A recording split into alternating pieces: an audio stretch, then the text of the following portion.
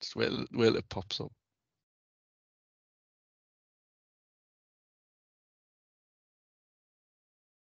Hello everyone, I'm Gareth Ellis, the cable lead at Cathie, and I'm here to talk about uh, an innovation in early stage project development reporting.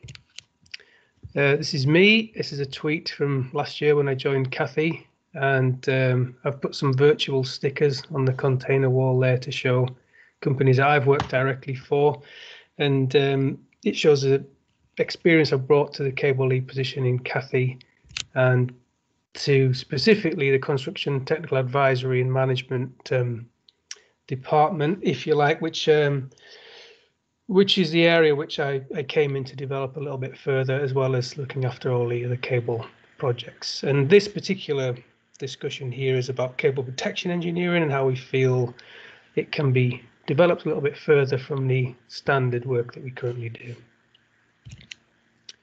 So the ICPC recommendation number nine, which I'm sure everyone's familiar with, is minimum technical requirements for desktop study. And it's often the first step in assessing route viability. And whilst it identifies the hazards and risks associated with one or several route options at an early phase, it doesn't and is not intended to deliver a full strategy for the protection of cables. So the key objective of the Cable Protection Analysis Report, or CPAR, alongside nomination and recommendation of options for installation burial techniques, uh, is to take into account current market contractors, equipment and methodologies, and the risks and commercial aspects thereof.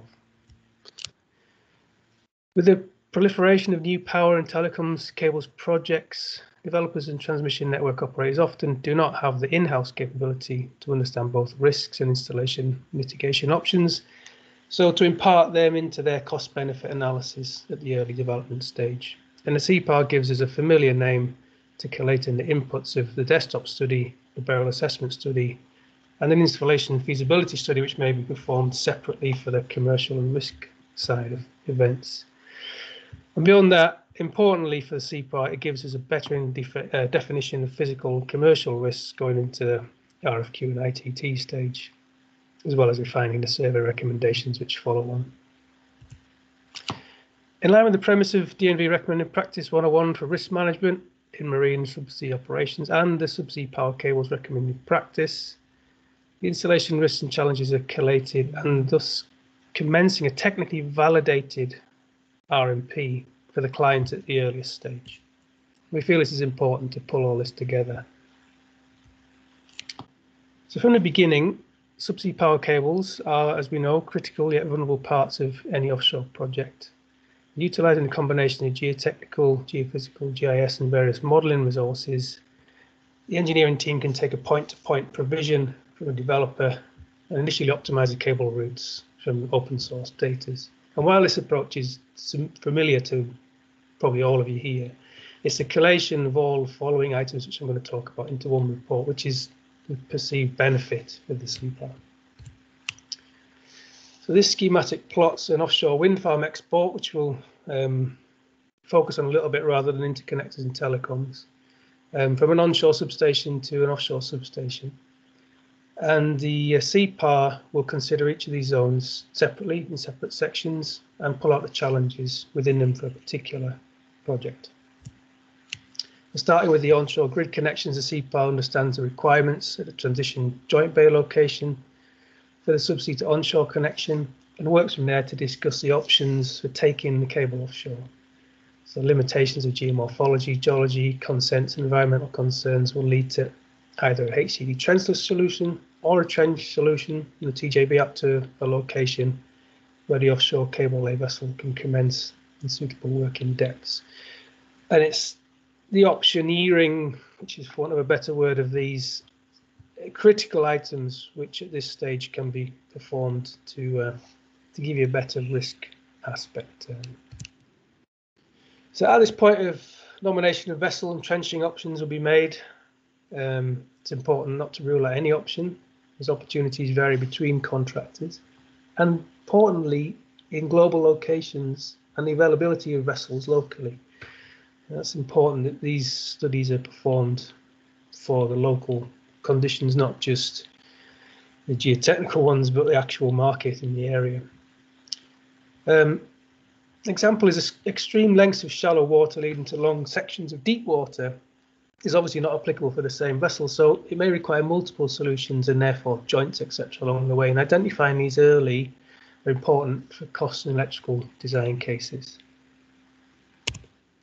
Moving further offshore, the identification of significant issues such as hard substrate, rock crossings, potential boulders, wrecks, sandbanks, shipping channels, and so on is going to draw out more risks and enable provisional idea of how to tackle them and indeed price them effectively. In the offshore wind farm area, it may be tackled separately or within the main CPAR.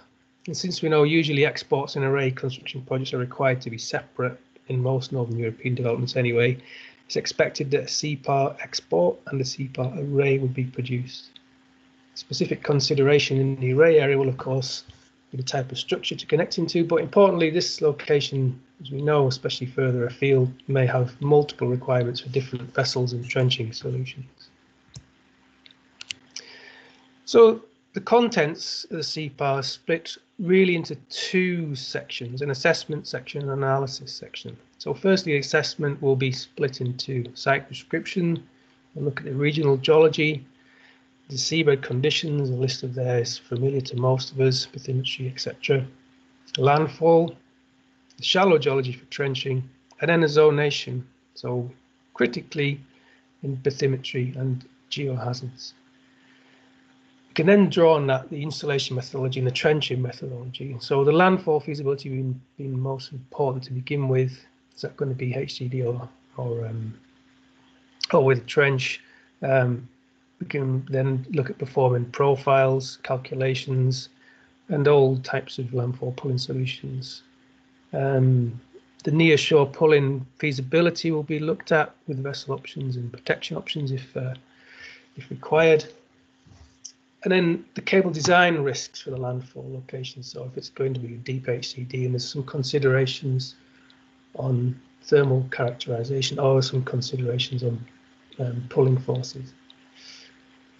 Um, then if you look at trenching and protection, this early stage we can give a provisional target trench depth so that we can then pull out some BAS tables and anticipate performances which allows us to characterize further what types of equipment can be used um, and where trenching isn't applicable, crossings, etc., can be considered, different options, their impact on cable rating of both the new cable and the cable's crossing, and then other remedial or planned non-burial protection options. So in the analysis part then, we'll look at the risk, geohazards such as a CBRA risks in general. We're not actually performing a CBRA, but we understand very well, of course, all of us what CBRA risks are involved with, and impart that into trenching risks. Installation risks will be covered in landfall, installation, trenching, and protection sections. And then finally, an O&M risk analysis. So are we going to leave the cable and is there going to be any latent risk to pass on to either OFTOs or O&M um, parties. Commercial analysis, well, provisional costs should be drawn up for all scenarios from the landfall to the OSP, and these costs should be derived from the market research and a database of similar recent projects that whoever's producing this report should should have. Um, for array fields without current layout, a cost heat mapping exercise could be drawn up, and I'll cover that a bit later in the presentation after looking at all these parts, then there's potential for innovation. So following an understanding of the risks and, and, budgeting, there could be gaps in the market for solutions which could be researched for further development. Examples recently innovative deeper burial trenching solutions and um, issues with multiple cable crossings in congested locations. So the value of heat mapping, well, first of all, for routing, um, it's common to follow the DNV standard for routing as you see below. As part of this, heat mapping or zonation of these hazards can be drawn up to ma macro route at this stage. And hard and soft constraints are characterized in the, in the cable route. And uh, it's possible, therefore, to, uh, in early stage, pass through these hopefully green low constraint patches on the heat map. Taking the heat mapping further into cost, and specifically on the array field here, In order to develop the cable installation element of an array field, a heat mapping exercise can be utilized as well as a cable sizing exercise within the heat map. So for the installation, the cost map might be comprised of several sublayers, such as installation costs with shallow water vessels and deeper water vessels, burial costs for significant areas such as sandbanks or sand waves, or rock, glacial till, etc. Um, slopes are important for tools, boulders obviously, glacial till, and um, then finally an O&M and repair costs. So what you're going to be left with in areas um, they might have a uh, a more specific high potential risk for O&M later. So in order to do this, the map split into four meter cells. The cells are given cost factor scores. And in the best case, you'll see the cost factor is one. Each layer adds a penalty onto the top of this, and the overall score is obviously the, the sum of the layers. A few examples here. So a trenching example, the table layer. Um, cost factor penalty zero where we consider a depth of less than two meters in normal trenching, so perhaps in a reasonable sand or soft clay. Um, but as the depth increases, the cost factor penalty increases with the requirement for extra passes or significant depths for uh, items like vertical injectors or dredging. And it's very specific that it's zoned into certain areas and the cost factor penalties in general based on additional mobilizations, bringing in extra equipment, weather, working additional parameters or constraints, and uh, shallow water vessel constraints, etc. Um, based on slope angles, then uh, we know that these affect specific tools, and again, as the slope increases on the table there, the cost factor penalty increases um, resulting in the final cost factor being where there's possibly only one solution, such as a vertical injector. And again, the penalty is based on the additional mobilization and uh, lesser working capabilities. And then we can have uh, an example here based on water depth and requirement to change from shallow water vessels to DP, deeper water vessels. And again, the cost factor is largely based on this mixing out of two solutions additional mobilizations, etc. Um, here's an example then. So the excerpt shows an overall cost map of an area uh, with a sandbank.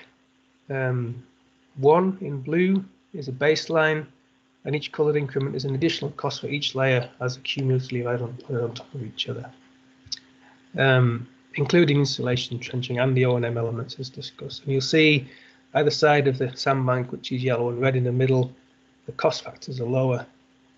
So laying a cable performing trenching between 27 and 68 is a significantly different cost between 68 and 30. And in that, this way you can reroute or at least have a knowledge that that cost is going to be there. When we look at cable sizing, so we can also do that uh, controlled by two main variables.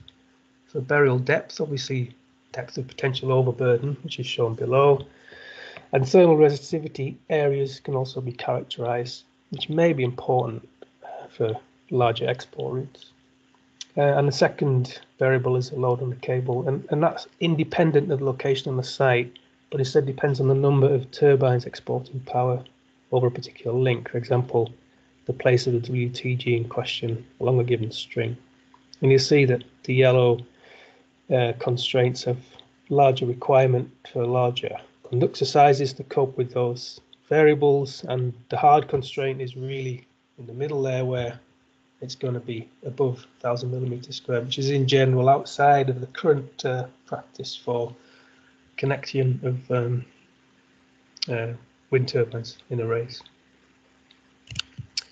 Uh, so the production of a CPAR or CPAR will be undertaken by a senior level engineer with at least 10 years experience, cable installation, and uh, more pertinently, needs to be involved in active market research and gathering lessons learned from as many projects as possible across all different types of subsea cables areas. And in addition, you'll need a heat mapping uh, GIS specialist and for the electrical works, a specialist engineer also